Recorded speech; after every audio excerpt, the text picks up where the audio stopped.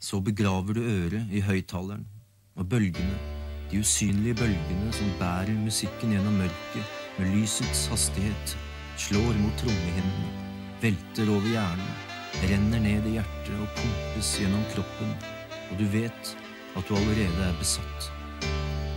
Down.